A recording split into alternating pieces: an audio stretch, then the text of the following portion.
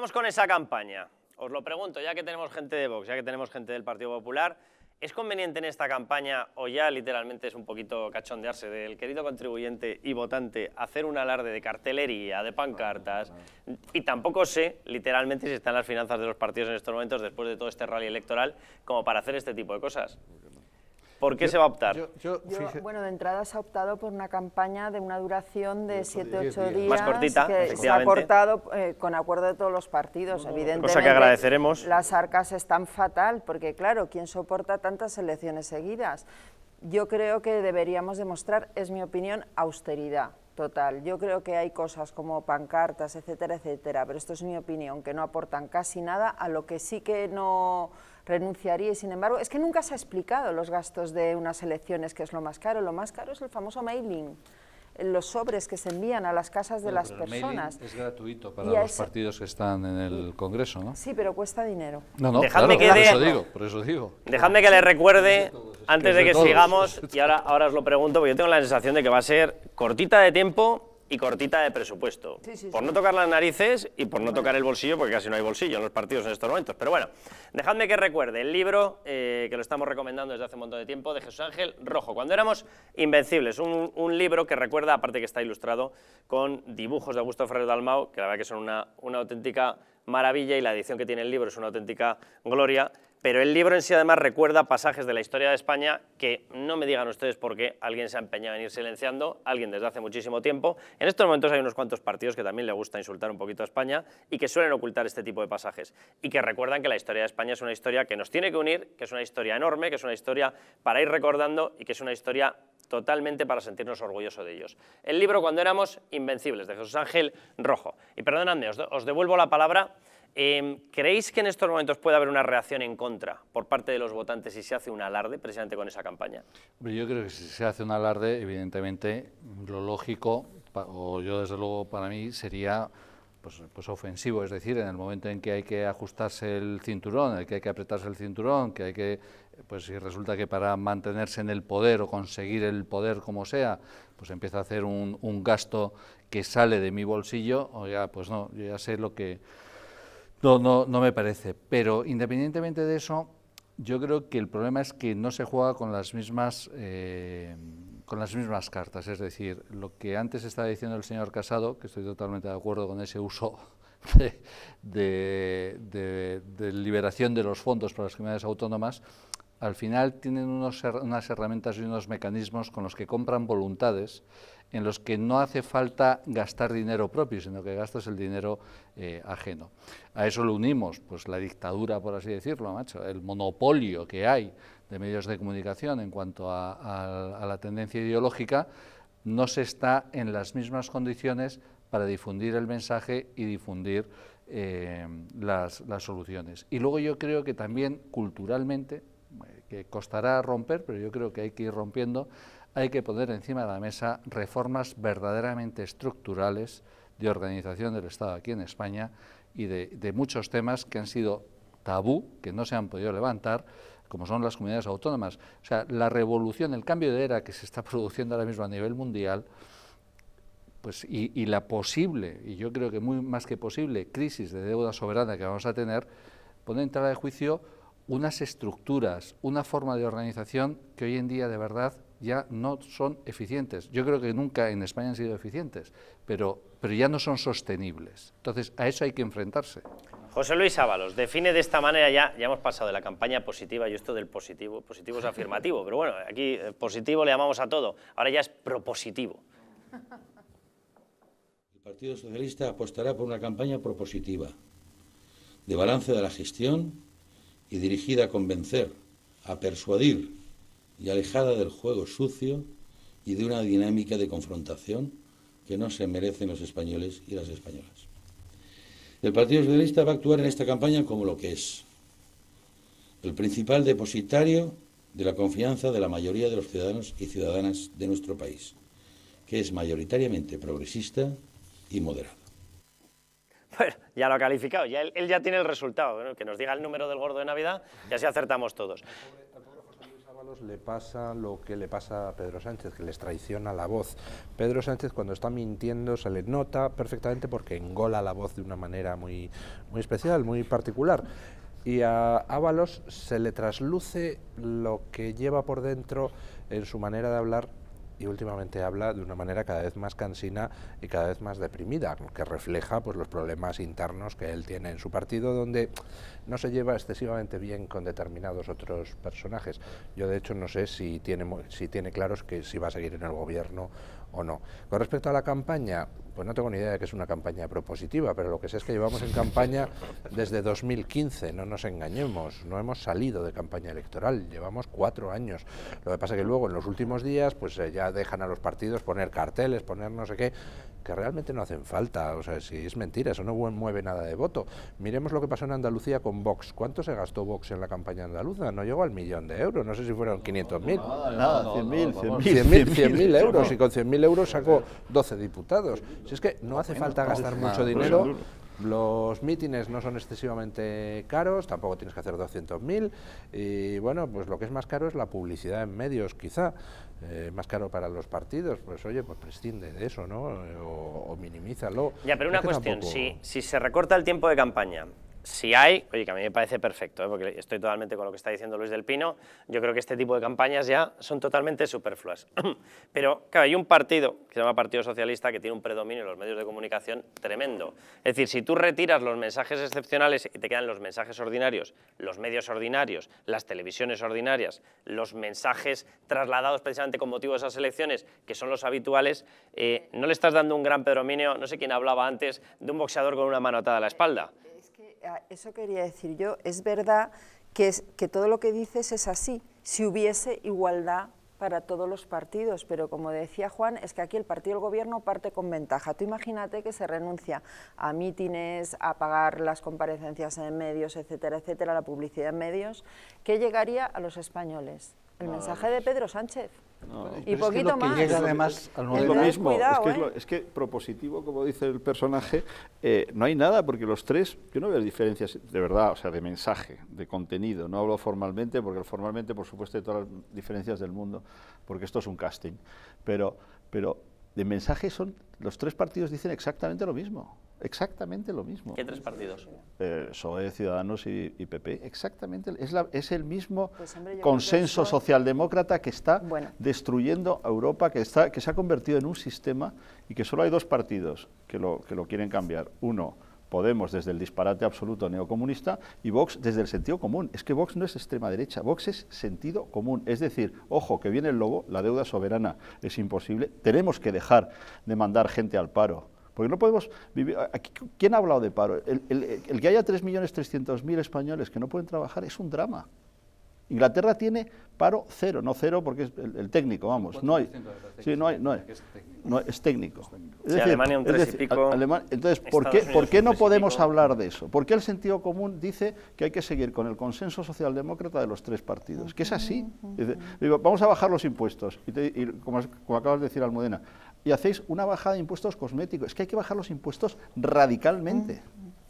Hay que, hay que, atacar el gasto público. Como yo hablaba del consenso socialdemócrata ya en el año 2011, cuando nadie lo hacía y Vox ni estaba ni se le esperaba, y lo definía perfectamente como lo que es, que es la confabulación de las oligarquías político-mediático y financieras, permítame que, permíteme que te conteste.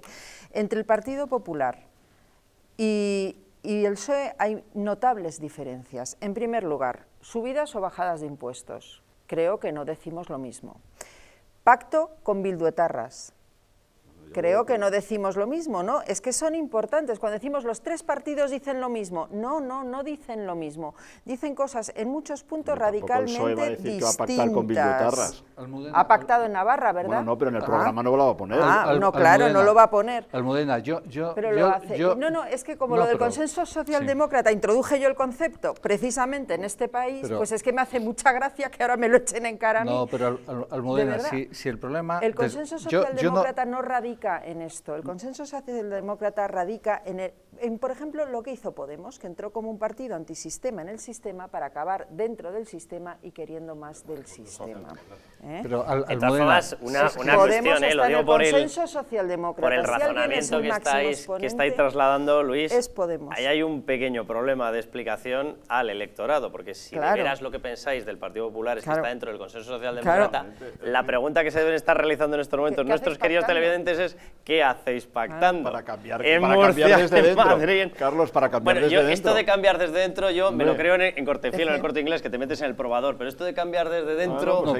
no, es que el consenso socialdemócrata, para empezar, ha muerto, ¿eh? porque ahora hay consenso... en estas elecciones deberían todos, Vox y PP, centrarse en eh, batir al enemigo, eh, dejarse en de, de, España, que suele ser más útil. Sí. Que en, en, estos momentos el problema fundamental que tiene España es que eh, para desgracia de todos, los que odian a España porque tienen una especie de auto-odio, que, que, espero que algún psicólogo algún día me lo explique, pues eh, se han hecho con importantes cuotas de poder y siguen haciéndonos perder el 90% de nuestras energías en rozamiento interno. Y eso no puede ser, eso se tiene que acabar. Hay que acabar con el predominio de los nacionalistas. Con el nacionalismo no se puede convivir, lo siento. Hay que exterminarlos con el voto. No hay que tratar de que no gobiernen, no, no, hay que tratar de que sean cero, que desaparezcan. Y eso exige una batalla cultural, exige una batalla política y exige sobre todo una batalla económica, que deje de ser posible en este país vivir de ser antiespañol, que hay muchísima gente que vive de eso. En Cataluña, vamos, a patadas. Bueno, pues ya está bien, eso es con lo que hay que acabar y, y, dejémonos de, querellas en el bando bueno, que, que, no puede ser. Yo, estoy totalmente de acuerdo con, con, lo que dice y, y, de verdad, o sea, yo creo que es que el problema que tenemos, y es feo decirlo, es que el problema es que tenemos gente que miente, que miente. Entonces, el, el problema de Pedro Sánchez o de, o de este el señor Ábalos es que mienten es que dan y dicen unas medidas o dicen que van a hacer eh, una política moderada cuando, cuando no es moderado dicen que van a subir eh, las pensiones cuando no dicen cuáles son las consecuencias y dónde va a salir ese dinero. no se dicen las consecuencias. a Ábalos decir lo de que vamos a hacer una campaña donde no haya juego sucio, se ha vuelto doña Almudena hacia mí y dice, madre mía, preparémonos porque no, no, claro. no, dicen una verdad nunca. Nunca. Vamos, yo bueno, adelanto entonces, que por la, por la información que yo tengo, la campaña que se está barajando para el Partido Socialista es sucia, sucia. Sí, sí, pero sí. no es un calificativo, o sea, se está planteando una especie de ecuación en la cual se quieren reabrir focos de corrupción del Partido Popular en etapa anterior, eh, hacer una simulación diciendo todos estos casos de corrupción ocurrían en la Comunidad de Madrid, en la Comunidad de Madrid había una persona que se llamaba Esperanza Aguirre, Esperanza Aguirre tenía relación con Pablo Casado, ergo la corrupción es de Pablo Casado. Este es uno de los ejes que se está estudiando, no es opinión, ¿eh? es no, no. información y uno de los ejes de actuación en la campaña va a ser eso, con lo cual yo tengo toda la sensación de que Ábalos le ha traicionado el subconsciente. Es decir, cuando tú estás pensando voy a hacer una campaña diciendo que son tal, voy a hacer una campaña, sí. ¿qué va a hacer usted? Voy a hacer una campaña para no decir que son tal. No, no, porque lo llevan en la cabeza. Es decir, yo tengo la sensación de que se va a recurrir a una campaña muy sucia, a una campaña de recordar cuestiones del pasado. Sí. Por supuesto, los, de los seres no se hablará, por supuesto, de Mercado Sevilla no se hablará, claro. por supuesto, de determinadas otras cuestiones, como lo que han tenido en Extremadura, no se hablará, que tienen directamente una condenada por prevaricación, no se hablará del caso Plaza, no se hablará del caso Río Pedre, en Asturias no se hablará de nada de los de su lado, ¿no? Pero se pondrá el foco porque para eso tienen los medios de comunicación. Y yo estoy totalmente con lo que estaba diciendo Luis del Pino. Vamos a ver, en estas elecciones, eh, oye, los partidos de centro derecha, a mí particularmente me un poco ver las pataditas por debajo de la mesa, me deprimiría bastante. Yo tengo la sensación de que lo que tenemos enfrente es un problema sideral, eh, que es el problema del que veníamos ya, que es el problema separatista y de destrucción de los principios de la transición, de la unidad de España y de la Constitución. A lo cual ahora encima se nos va a sumar un problema económico sideral. Entonces yo creo que tenéis en los partidos de centro derecha suficientes dianas a las que atizarles como para que os aticéis entre vosotros, porque es que entonces va a ser un poco, perdóname la expresión, un poco patético. No, no solo estoy de acuerdo, sino que ese fue el motivo por el que yo entré en el Partido Popular hace tres meses. Precisamente ese, porque cuando España está como está, de verdad, lo que no podemos estar es entre nosotros, entre los que queremos defender la unidad de España, entre los que queremos bajar impuestos más o menos, dándonos de tortas en la campaña electoral y dejando que se vayan de rositas. Yo creo que hay que defender la libertad, pero hacerlo de, forma ilusionante, no de forma... pasado del y tú más al y yo más. No, pero, pero si, me dejáis... A ver si nos ponemos de acuerdo. No, quiero decir... yo, yo, sinceramente creo, ¿eh? y lo creo, y, lo creo ¿eh? muy sinceramente, ¿eh? lo creo muy sinceramente, y soy eh, amateur, digamos, en, en política. Creo que hay diferencias muy sustanciales, muy sustanciales, en lo que sería el Partido Popular y Vox. Creo que son muy sustanciales. Otra cosa es que en el momento en el que estamos tengamos unos problemas muy gordos, que es en los que tenemos que poner eh, eh, especialmente el foco. Pero sinceramente creo que, el, y, lo estaba diciendo antes eh, don Carlos y don Luis, el tema del nacionalismo es crítico y es clave. Y adicionalmente, el tsunami que viene a nivel mundial nos va a hacer o nos va a tener que hacer replantear muchas cosas en cómo estamos nosotros eh, organizados. Y el problema es que hayamos hecho vida de esa estructura. Habrá que tener una generosidad y un realismo para decir, mira, de lo que he estado viviendo hasta ahora, cómo he estado viviendo hasta ahora organizado, esto no es realmente sostenible para el bien común de todos los españoles. Porque el señor Pedro Sánchez o el, político, yo qué sé, el, eh, Felipe González, todos ellos ya están viviendo eh, y van a seguir viviendo hasta su vejez o hasta, hasta su muerte muy cómodamente. Pero el españolito de a pie, el que se levanta a las 6 de la mañana, realmente está metido en una estructura que cada vez está más anquilosada, que cada vez es menos realista con el sistema a nivel mundial que nos está, que nos está pegando. Y encima en el que parece que tiene que, horrorizarse de ser español cuando de verdad, sinceramente, este país, esta patria, esta nación, si en lugar de estar pegándonos, pegándonos entre nosotros, realmente saliéramos fuera, tenemos un potencial tanto en las personas que hay en España, de verdad, como en la propia comunidad hispana que tenemos a nivel mundial. lo decía en ese, en ese sentido. A estas alturas ya todos nos conocemos y los votantes tienen claras las cosas. Y el que piensa, el votante de centro derecha, el que piensa que el PP es demasiado blandito y por eso le gusta Vox, lo piensa ya. Nada de lo que suceda de aquí al 10 de noviembre le va a cambiar eso. Al revés, el que piensa que eh, Vox es demasiado radical o demasiado arriesgado y por eso prefiere votar al PP, lo piensa ya. Y nadie le va a hacer cambiar de opinión de cara al 10 de noviembre. Entonces resulta absurdo perder el tiempo en ese tipo de disquisiciones el PP debería dejarse de chorradas, de y si hacemos sumas de no sé qué, que no, que no vamos a hacer sumas. Pues es una chorrada por la sencilla razón. Yo ahí sí que no pues estoy de acuerdo. Yo, se lo explico con un ejemplo, que soy yo. A mí me presentan una lista conjunta donde está la gente de Vox con Fernando, con Alfonso Alonso, y lo siento, me quedo en mi casa a votar. se no trata de personas, no de proyecto, vale. es, es un ejemplo. jugar es a los dos bandos. Pero ¿por qué es malo déjame, déjame decir una cosa, déjame decir una, cosa. Hay una cosa o sea, Madrid, Madrid ¿eh? en, total. lo que, estáis diciendo, Luis. O sea, acabas de hacernos una exposición que yo comparto,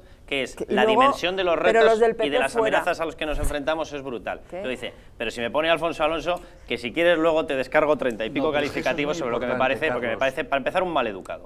Para continuar, una persona que se ha cargado el espíritu ya no solamente del Partido Popular en el País Vasco, sino retiro, la defensa del retiro el ejemplo porque no quería centrarme precisamente en la discusión. No, pero que a lo que voy es, si, la magnitud de los problemas, es decir, voy a poner otro ejemplo. Voy a abrir la puerta. Estamos en un vecindario, ¿vale? Y tengo a un vecino al lado que me llevo bien, no coincidir en todo. Y tengo otro vecino al otro lado que también me llevo bien, pero seguro que no coincido en todo. A él le gustará más la cerveza, a mí me gustará más el vino, al otro le gustará más el cordero, a mí me gustará más el pollo. Vale, maravilloso. Y de pronto empiezan a llamar a la puerta del portal una serie de personajes con hachas, con ametralladoras, y decimos todos, oye, como a ti te gusta más el pollo, no nos vamos a poner de acuerdo en defendernos. O sea, si la magnitud del ataque, si la magnitud de la amenaza es tan brutal, oye, si aparece una persona que no te gusta dentro de las listas, siempre será mejor que el hecho de la magnitud de ese ataque. No, quería, no quería entrar en eso, pero si resulta, ah, pues, siguiendo su ejemplo, si resulta que este vecino que hay al lado en un momento determinado dice hay que construir el futuro de Euskadi con esos que están ahí abajo, eso, con la pistola. ¿Eso lo dice Pablo Casado? Eso, lo dice un señor? lo ha dicho un señor de ah, una estructura del PP Vasco al que Pablo Casado ha respaldado. representación en el Congreso de los Diputados, que es donde estamos representados todos los españoles, es este número. Pero es igual. a, lo que quiero ir. que yo entiendo perfectamente. vayamos a, los, a la realidad. La realidad, los últimos tres éxitos del PP, ¿cuáles son? Andalucía y los dos Madrid. Madrid Ayuntamiento y Madrid Comunidad de Madrid. Sin Vox, sin los votos transversales de Vox, sin los votos de, Vox, que es gente gente, Almudena, Almudena, Esto es muy que es aburrido. no, no, no, que es, que es, gente que jamás votaría al PP por muchas razones, por la corrupción, porque están bueno. hartos, porque, porque creen lo que dice Juan bueno. de Dios, que el sistema se está viniendo abajo y necesitas voces distintas, por muchas razones Bueno, vota la pero gente si a Vox. le- pero Almudena, la, la Almudena, te quita Ciudadanos y el PP sin Vox en Madrid no habrían ganado nunca, ni en Andalucía habrían ganado nunca. Menos mal que habíamos llegado a un acuerdo de que íbamos a hacer todos una campaña activa en defensa del Sí, constitucionalismo y de final, España y no de patadita por debajo Yo es de la que mesa. lo que estoy Menos viendo mal. es que seguimos en la campaña del 28 de abril que he permitido a Sánchez lo que ha permitido y es en el rollito de vamos a ver cómo todos le damos pataditas al Partido Popular. Pues bueno, cuando el Partido No, las Popular lo que está ofreciendo, ¿eh? Solamente cuando el os digo- Partido Que soltaron el Po- bueno, Doberman. sí, perdona, Solamente os derechita digo una cobarde, cosa, te lo quiero recordar. Solamente os digo una cosa, el señor que. Tiene hecha una estructura si estable caéis en voto. de alianza con EH Bildu y con Esquerra, que se llama Pedro Sánchez, Claro. en estos momentos nos toma el pelo a todos Claro. nosotros y a todos los españoles lanzando mensajes como este. Atención a lo que dice del 155. Presidente, si hay una respuesta inadecuada por parte de la Generalitat de Cataluña, aplicación del 155. Vamos a utilizar todos los resortes del Estado para defender el orden constitucional, el Estatuto de Autonomía en Cataluña, la convivencia, la soberanía nacional y la integridad territorial. No le quepa duda a nadie de eso. No le quepa duda. Vamos a ver. Vamos a ver, pero sí, cuidado con esta historia porque esto es maravilloso. Vamos a ver, yo estoy convencido de que lo harían. De hecho, sé, eh, sé a ciencia cierta que tienen incluso desarrollado ese plan. ¿Cuál es la historia? Que están pactados con Esquerra. Es que, vamos a ver, no van a darle esos motivos y van a mantener un tono en el que digan determinadas cosas, pero no hagan ilegalidades abiertas. ¿Para qué? Para que Pedro Sánchez quede de constitucionalista, tome el pelo a sus votantes y mientras no tenga que aplicar el famoso Pues es que 155. dice una cosa- Esto sí que es un teatro. Si es que dice una cosa y hace otra, si es que está colgado en, en- en la web de la Moncloa el acuerdo de Pedralbes Ah, con los, con los separatistas catalanes, en el que dice, oye, eh, reconocemos que hay un conflicto con Cataluña, reconocemos que hay que llegar a una solución política. Por eso, de- dice una cosa, o sea, es un eso, mentiroso, claro, es que es Juan de, mentiroso. por eso Esquerra no va a entrar cuando ya tiene amarrado eso y le van a seguir permitiendo recibir fondos para seguir fabricando su paraestado, le van a seguir permitiendo que haga lo que quiera en los colegios, que se lo están permitiendo a día de hoy, le van a seguir eh, permitiendo que siga fastidiando a cualquier familia que no quiera vivir en clave nacionalista. ¿Tú te vas a fastidiar eso dando motivos para que no le quede más remedio que activar un 155? Ah, hablar. No lo van a hacer, No. no lo van a hacer porque lo tienen pactado. ¿Por qué les está regalando Navarra a H. Bildu y el País Vasco a PNV? Porque lo tienen pactado. Claro. ¿Le van a dar un motivo para que tenga que aplicar un 155? No, no. Van a hacer un nuevo estatuto de autonomía, muy majete, muy limpio. Ahora, eso sí, dentro todos los pasos para desfigurar la realidad del derecho que tiene que aplicar un Estado para que de veras pueda ser considerado un Estado. Es que esa será la vía, la reforma de los estatutos, nuevos estatutos y el desbordamiento de la Constitución vía los estatutos, Exacto. que es lo que Guiguren explica en su libro del pacto que hizo el Partido Socialista Obrero Español con ETA. O sea, Bueno, si es que a estamos eso, siguiendo ese, estamos a siguiendo ese plan, la si es que estamos siguiendo ese plan. pacto. Pues frente Claro. a eso, permitidme eh, petición de un humilde presentador que os centréis en eso, ¿sabes? O sea, luego ya vosotros os metéis en el cuarto de baño, en la cabina telefónica y os arreáis todos los tortazos que queráis, pero centraos en eso, porque eso sí es una amenaza, eso sí es una magnitud de verdad desbordante, porque se van a cargar España, se van a cargar la Constitución. Y luego además es una cuestión que es maravillosa, o sea, el Tribunal Constitucional ya ha tragado con presentar unos etarras y decir, son muy majos, son muy buenos y las listas tienen que ser admitidas. Ya ha tragado con eso. No va a tragar con que tú hagas una cosa que en vez de llamarle Consejo General del Poder Judicial catalán o Consejo General del Poder Judicial vasco, digas Reagrupación Judicial Vasca. ¿No va a tragar con eso? Claro que va a tragar. Eso estuvo contemplado en el primer borrador de la reforma del Estatuto de Cataluña, que luego echaron para atrás algunos artículos, pero estaba contemplado eso, vamos que ahora mismo están volviendo a Que plantear. esas, que esas son las intenciones de Sánchez, no me cabe ni la más mínima duda. No solo de Sánchez, ¿eh? eso es un plan de todo el PSOE. La declaración de Granada, que mm, Exacto. piensa en un modelo confederal para España, se aprobó estando Rubalcaba de secretario general. Eh, no me cabe duda de que es lo que quieren. Ahora, afortunadamente el Estado va más allá del gobierno, va más allá del PSOE. Y por supuesto que hay poderes del Estado que se han movilizado en su momento ante la inacción de los gobiernos de la nación y se volverán a, movi- a movilizar en caso de que alguien trate de desbordar la Constitución. Si ERC en estos momentos no quiere ir a un, a un rupturismo, pues es primero porque ha salido mal lo anterior y entonces pues ahora van a etapa de intentar conseguir poquito a poquito avances para dentro de 10 años volver a plantear un pulso, pero segundo porque saben que Pedro Sánchez no controla la judicatura y saben que como alguien transgreda la ley pues va a haber quien les denuncie y va a haber jueces que les lleven a la cárcel. Y hombre, pues en fin, lo de ir a la cárcel no gusta mucho. Lo que te dejen hacer lo que te dé la gana, sí, ¿no? No, tienes razón. Fíjate que además el, independentismo tenía esto planeado, lo dijo Miquel Iceta, 10 años.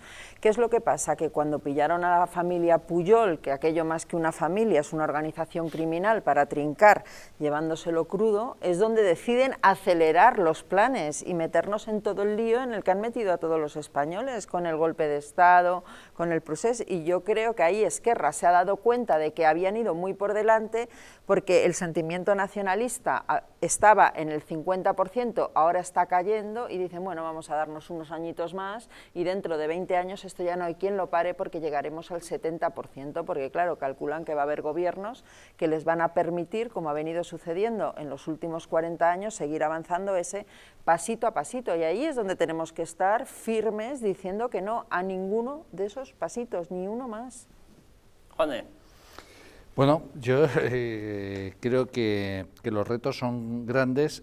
Lo que temo, lo que temo sinceramente es que, que no veamos esos retos exactamente igual y en mi caso, que es personal, ¿eh? es un tema personal, es que después de haber sido engañado tantas veces,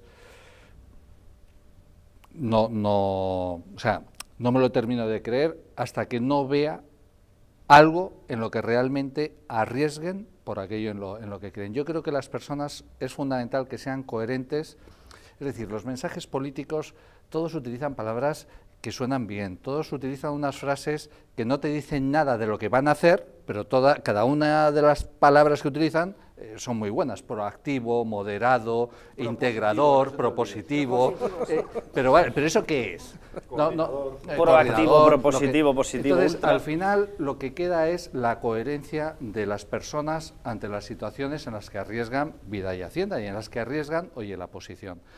Yo personalmente, y no quiero insistir en ello porque creo sinceramente que tenemos retos muy gordos, que en esos sí que soy absolutamente intransigente. Es decir, yo creo que tenemos un problema muy gordo de nacionalismo, y lo tenemos en Cataluña, en Vascongadas, en Galicia, en Valencia, en Baleares.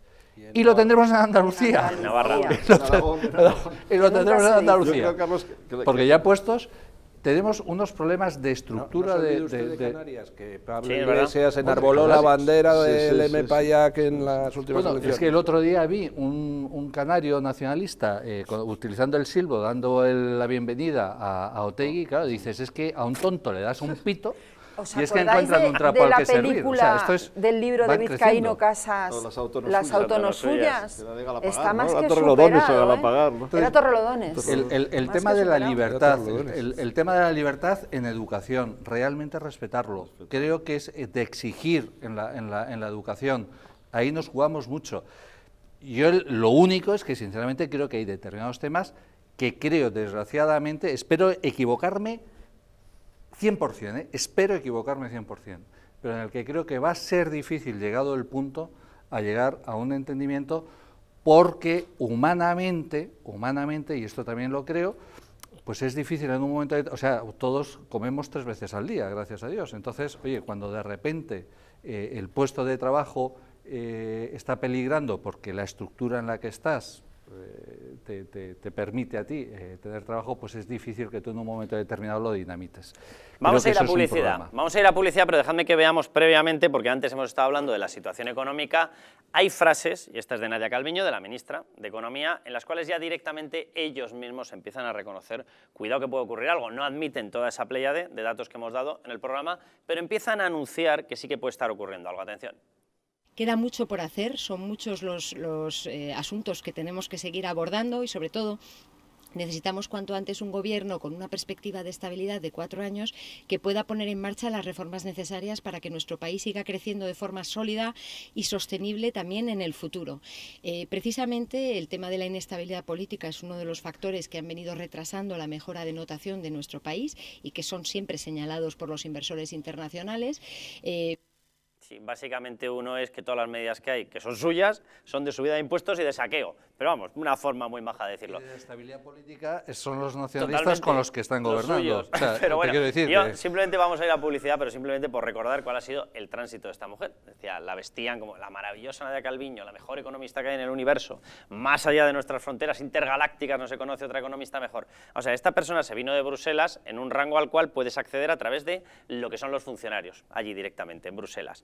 Para saltar de esa escala, tienes que pasar a que te respalde políticamente, ¿vale? Un país. En este caso, como ya es española, pues España. ¿Qué hizo? Se vino. ¿Cómo se vino? Se vino con una excedencia. Sea, este caso no se ha conocido en Bruselas. O sea, se vino pidiendo una excedencia de la Comisión Europea. Tenía tanta fe en su propia labor y en su propio gobierno que se vino reservándose la plaza. No vaya a ser que tuviese que salir corriendo y sin maletas de España. Bueno, ¿qué es lo que ha hecho ahora? Ahora está reclamando ya esa vuelta. Pero claro, como vuelve amparada por el poder político, ya puede saltar al cargo de o vicepresidenta de la Comisión Europea o comisaria de la Comisión Europea o responsable del FMI, que ya lo ha intentado, porque lo que quiere es ir a uno de los organismos top donde obviamente ya te saltas esa escala en la cual ella estaba de funcionaria de la Comisión Europea. Es decir, esto en mi pueblo lo llaman hacer un chipichapa. Se ha ido, se ha montado en el trampolín y chipichapa que vuelvo, pero por la carretera de en medio me he llevado un pedazo de ascenso de tres pares de narices, con el triple de sueldo, pasaporte diplomático, vivo de maravilla y ahí tal. Bueno, pues esta es la persona que nos acaba de decir que ella confía en el entorno estable durante cuatro años de España. Pero si usted se está marchando, pero si ha cogido los billetes de vuelta y no ha esperado ni hacer las maletas. Pero bueno, nos vamos a publicidad y volvemos.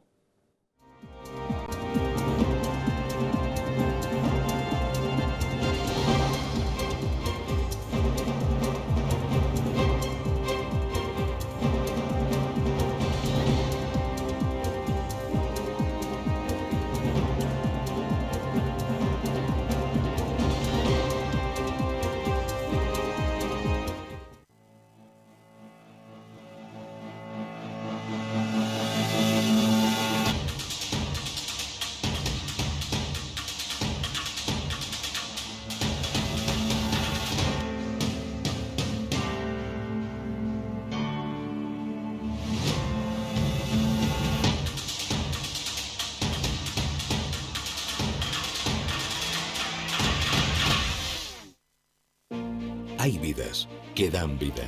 Vidas de grandes mujeres y hombres, científicas, inventores, médicos o humanistas que han dejado de herencia un mundo mejor. Legados tan importantes como la imprenta, la penicilina o los derechos humanos. Pero ¿qué hay de María? Probablemente no habrá una calle con su nombre, pero gracias a su testamento solidario se construirá una escuela en Sudán para que cientos de niños puedan decidir su vida. ¿Y de Rubén? No aparecerá en ninguna revista científica, pero con su testamento solidario se van a poder comprar vacunas para que miles de niños puedan seguir viviendo. ¿Y Carmen? Seguramente no aparezca en los libros de historia, pero con su legado se podrá liberar a muchos niños reclutados por grupos armados. Al igual que Carmen, Rubén y otras grandes personalidades, tu vida también puede dar más vida dejando un legado que proteja la infancia de miles de niños. Súmate a Vidas que dan vida incluyendo a UNICEF en tu testamento. Pide tu guía informativa en el 900-907-500 o en testamentounicef.es y convierte tu testamento en un testamento solidario. ¿Te han abandonado los bancos? ¿No consigues financiación? En ASFI, Asesores Financieros, te ayudamos a alcanzar todas tus metas. El dinero que otros te mezquinan, nosotros te lo conseguimos en 15 días. Crea tu propio negocio, compra tu propia vivienda, soluciona tus problemas de deudas. En ASFI, Asesores Financieros, hacemos que todos tus sueños se hagan realidad. Llama ahora al teléfono 91-510-2741 y soluciona tus problemas en 15 días.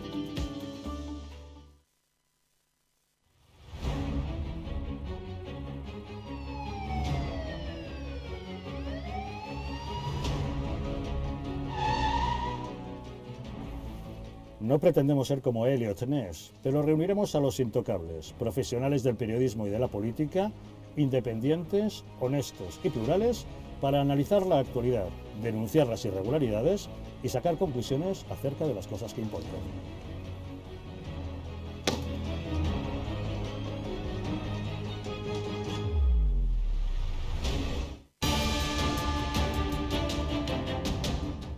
Estamos en un auténtico Estado democrático o estamos en una patritocracia? Porque este programa se hace para ustedes. La ciudadanía está quedando atónita a lo que estamos viendo. Vamos a ver cosas que nunca se imaginarían. Lo que ha pasado en España demuestra que Falconetti no es tonto. Que la democracia, ¿qué es lo que es, amigos? El imperio de la ley. Esta izquierda rancia lo que quieren es exterminar todo aquello que no piensan exactamente igual. El castigo va a ser terrible para todos los partidos. Porque se avecina una crisis de unas dimensiones estratosféricas.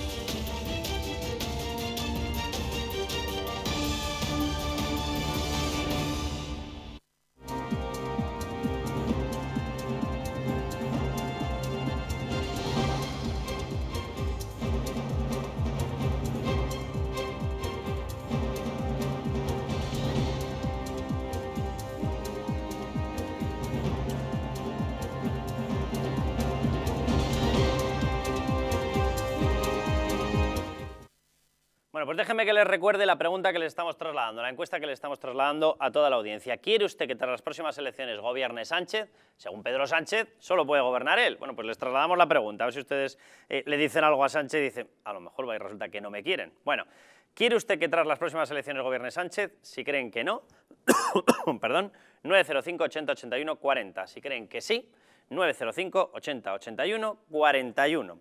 Y estábamos hablando precisamente de los nacionalismos. Estábamos hablando de ese 155 que según Sánchez aplicará en cuanto sea estrictamente necesario, claro, teniendo en cuenta que tiene pactado con Esquerra darle cosas para que no lo haga, esto se llama teatrillo. En mi pueblo se llama teatrillo, pero bueno. Eh, hay una alianza en Navarra realizada con Geroa y que lleva dentro PNV, es decir, separatismo, eh, yo sé que hay mucha gente que dice que PNV es nacionalista. Yo simplemente le pediría a la gente que meta nuevo estatuto de autonomía vasco, no que diario está dando información por todas partes de lo que lleva ese estatuto. Ahí ellos mismos se consideran ya autodeterminados y trazan una serie de acuerdos a través de ese estatuto, que por cierto lo está negociando el Partido Socialista, en el Parlamento Vasco, negociado con, perdón, con PNV y con EH Bildu, donde hablan directamente de que son autodeterminados ya y de que pactan una especie de régimen poco menos que de Estado libre asociado, porque como ya están autodeterminados y tienen soberanía, pueden hacer lo que les dé la gana. Y hay incluso una segunda fase donde ellos eh, describen una anexión de Navarra y de otras zonas, el condado de Treviño, saltar a la parte del País Vasco francés, todo lo que les dé la gana. Lógicamente en Francia no tendrán narices para hacerlo, pero desde luego lo que está negociando el Partido Socialista es un esquema en varias fases que incorpora Navarra, que incorpora zonas de Burgos como el condado de Treviño, etcétera, etcétera. Bueno, eso aparece definido, por lo tanto yo me niego a llamarle partido nacionalista, en el nombre sí, pero desde luego como descripción es un partido separatista, el PNV.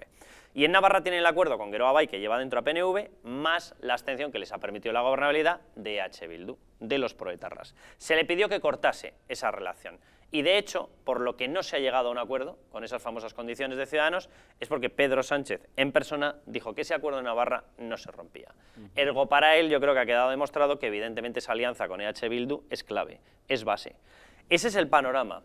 ¿Creéis que en las próximas elecciones se va a seguir, o tras las próximas elecciones, si gana Pedro Sánchez, se va a seguir desarrollando esa alianza? yo, sigo los nacionalismos, pues estudié eso en Londres hace, hace ya 30 años, y yo creo que hay una tendencia del PSOE a intentar equilibrar o estabilizar el mapa, sobre todo el mapa territorial de España.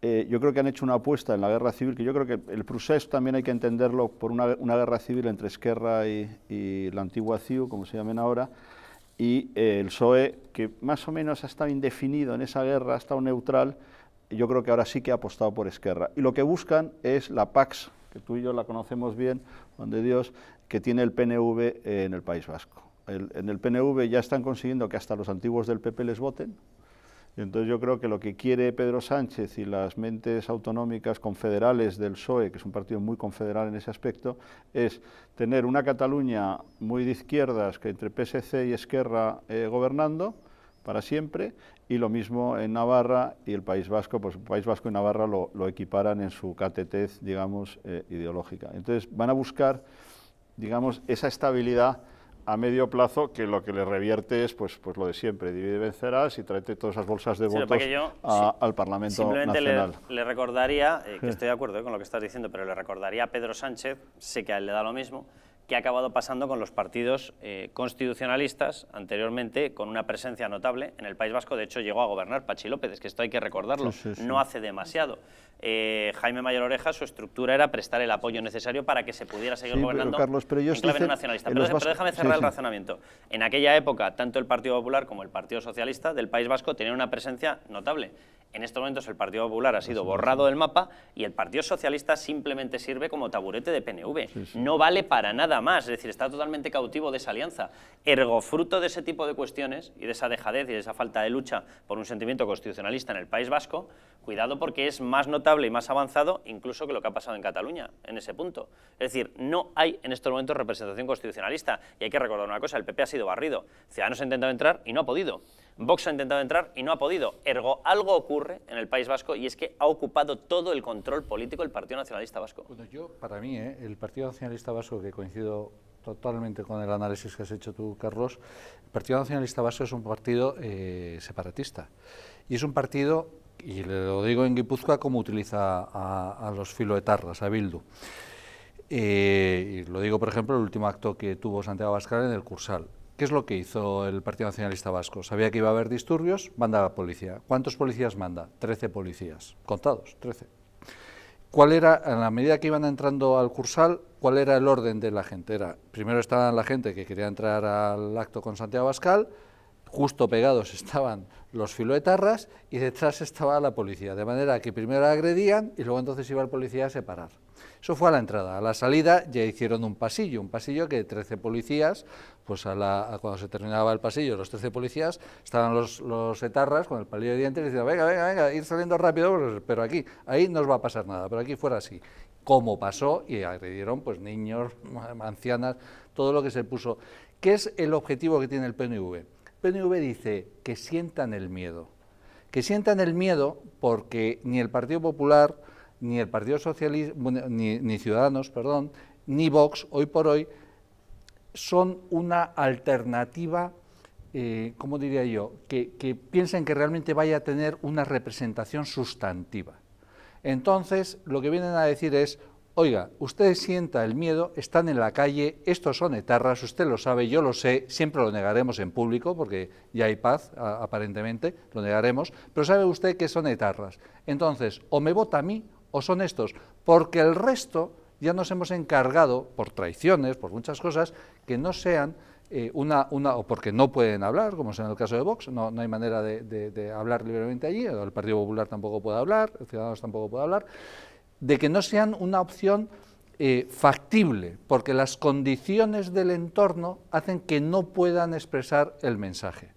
Entonces, el Partido Nacionalista ha conseguido que el voto útil de todo el mundo sea el PNV, es decir, el miedo sea el que decide. Y yo, el miedo, ya cada día estoy más harto del miedo, porque el miedo es, es, sencillamente una, una te, adormece, pero al final acabas llegando al, caos que, querías evitar. Fíjate que a mí, a mí en este planteamiento eh, me parece peligroso determinado discurso de Ciudadanos. Antes mencionaba Luis del Pino el hecho de que solamente se hubiesen enfocado en la presencia de H. Bildu. Entender el juego de H. Bildu sin entender el juego del PNV es imposible. Es un imposible. es un tándem. Vamos a escuchar a Ignacio Aguado, porque vuelven con esta historia, como si únicamente el problema fuese H. Bildu. No, no, H. Bildu es un factor que es utilizado sistemáticamente por PNV. Atención. Yo desde luego estoy absolutamente indignado con las palabras de Bildu, con los planteamientos políticos que está haciendo Bildu y tengo un mensaje para Otegui y para Bildu. Y es que ellos pueden seguir eh, sin condenar los atentados terroristas, pueden seguir buscando alianzas con Sánchez, pueden seguir brindando en Navidad con Cava, con el PSOE, pero desde luego lo que no van a conseguir es que haya demócratas que no vayan a cualquier rincón de España independientemente del lugar en el que nos encontremos. Voy a dar dos fotografías de lo que ha pasado en el País Vasco año 2001, elecciones autonómicas del año 2001, elecciones del año 2016. Ahora iremos en junio de 2020 a unas nuevas elecciones, pero son dentro de la etapa moderna, es decir, ya con los partidos totalmente configurados como están. Eh, no estaba Ciudadanos, no estaba eh, Vox, eh, en una de ellas sí aparece ya eh, el partido de Podemos, eh, en la última, en el año 2016, pero atención a cómo ha cambiado esa configuración. Ya era el Partido Popular moderno y era el Partido Socialista moderno. Hay que recordar que a partir del año 2000 ya empieza la influencia de Rodríguez Zapatero. En el año 2001, el principal partido fue PNV, gana las elecciones vascas, ¿vale? Con 33 escaños. ¿Pero cuál fue el segundo? El Partido Popular de Jaime Mayor Oreja, con 19 escaños. 19 escaños, vayan recordando estas cifras. El siguiente, el tercero, fue el Partido Socialista, claro, de Nicolás Redondo no el Partido Socialista de lo que hay ahora en el País Vasco. Y ese partido consiguió 13 diputados. La cuarta fuerza fue EH, ahora EH e Bildu, es decir, Otegui, para que nos entendamos, los proetarras, vamos, siete diputados, ¿vale? Atención a cómo ha cambiado esa configuración, porque como pueden ver, los 33 más los 7 sumaban 40, en el caso de PNV y H. Bildu, que además no se van a sumar, atención porque los 19 más 13 tenían un volumen más que considerable por parte de los partidos constitucionalistas. Atención a cómo ha quedado la fotografía en estos momentos. Primera formación, 28 diputados PNV. Pero la segunda ya es H. Bildu con 18. La tercera, es Podemos, el Carrequín Podemos, es decir, la versión de Podemos del País Vasco, que es exactamente igual de separatista, con 11. Para buscar a uno de los partidos teóricamente constitucionalistas hay que ir a la cuarta posición con el Partido Socialista, que tuvo nueve escaños. Y digo teóricamente porque Idoia Mendía le gusta pasar la Nochebuena fotografiándose con Otegui. Ella sabrá lo que hace, pero eso no lo hace un constitucionalista.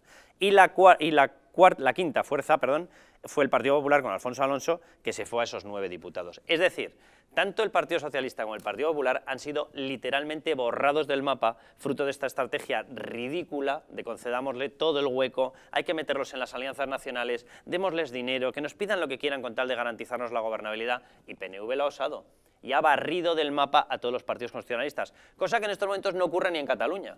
en Cataluña sí sigue habiendo una presencia, con Ciudadanos sobre todo, más potente, cuidado porque ahora está en baja, pero, pero más potente porque, de hecho, yo tengo toda la sensación de que lo que está ocurriendo en Cataluña es lo que ya ha ocurrido en el País Vasco. Es lo que busca, es, la estabilidad que busca Pedro Sánchez. Pedro Sánchez quiere una esquerra parecida al PNV. Claro, pero es que el, artífice de este cambio no ha sido EH Bildu. O sea, EH Bildu ha sido utilizado, pero el artífice de este cambio ha sido PNV. No, pero ahora la muleta va a ser el PSC que es lo curioso. O sea, con Esquerra, con quién van a gobernar es con el PSC. O sea, la, estabilidad en Cataluña, que la buscan, porque es fundamental estabilizar aquello políticamente, lo que, lo que buscan es que la guerra hegemónica entre Esquerra y que además tiene componentes sociales, económicos, que no, que, no viene al caso, pero vamos, son, es brutal esa guerra. Entonces, esa guerra que hasta se distingue por los barrios donde viven, cada uno de ellos, al final va a ganar Esquerra, porque, porque ya, tiene, ya, ha cogido el ritmo de ganar y el, y el apoyo, la muleta va a ser el PSC.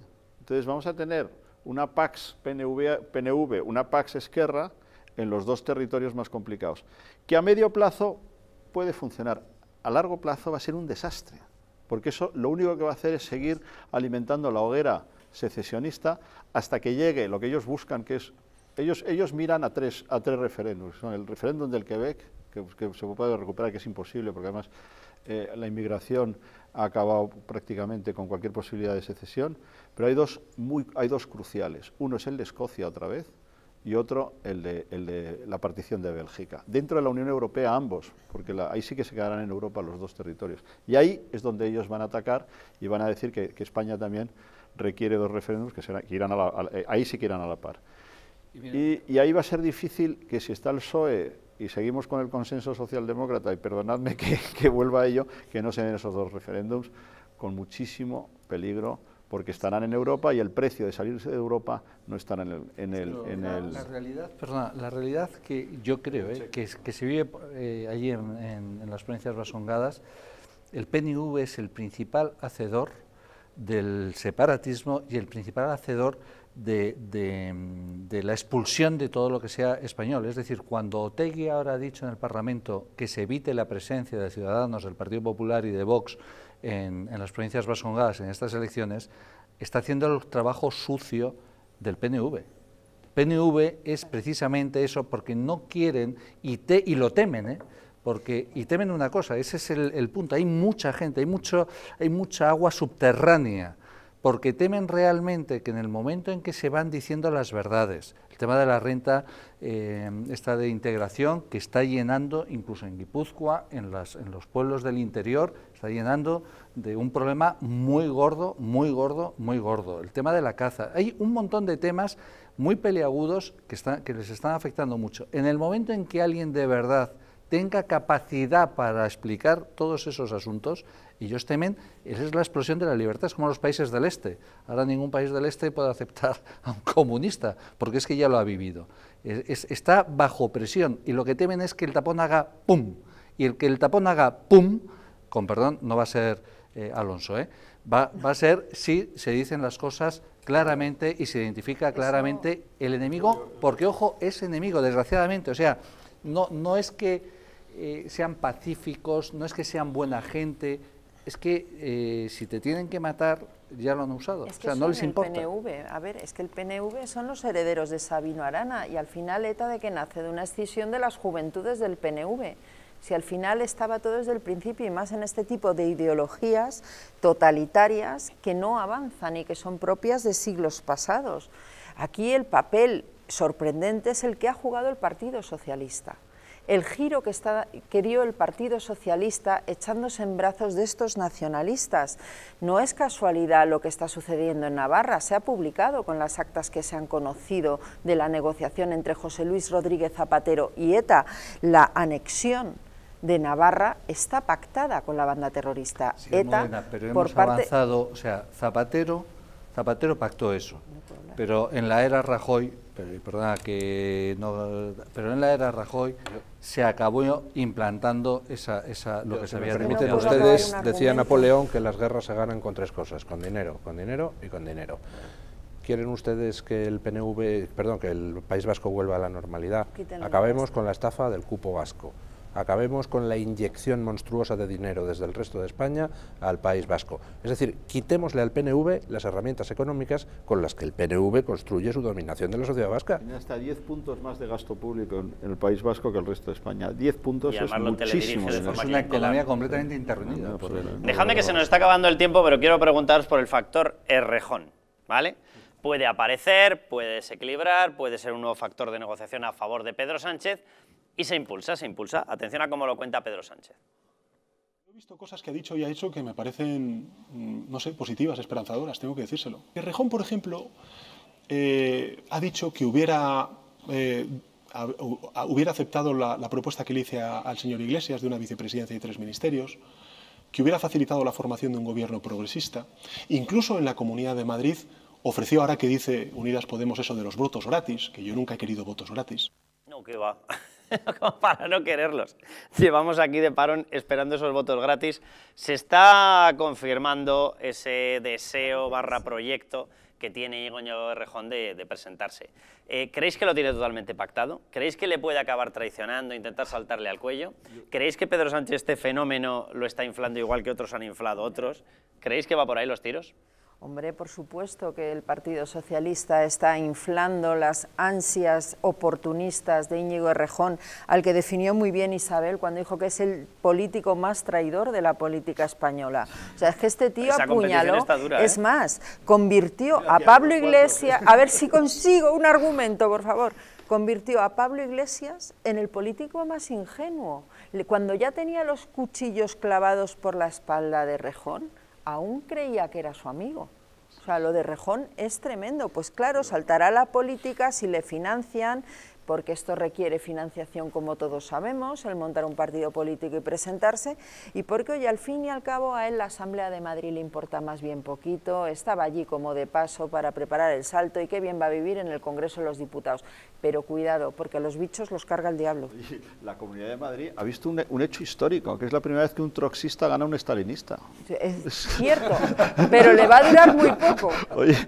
¿Creéis que se materializa y que le permite esa gobernabilidad? Muy rápido, Luis. Pues a mí me hace mucha ilusión que se presente Rejón. Yo le animaría, don Íñigo, por favor, preséntese. Fundamentalmente porque le va a quitar votos a Podemos, sí, pero me interesan más los que le va a quitar al PSOE.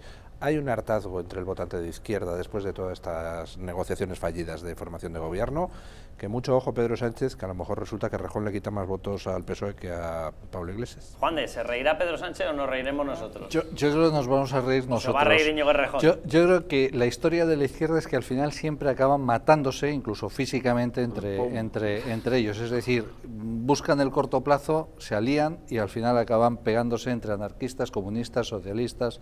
Yo creo que, y este personaje es, es, este es duro, este es químicamente puro.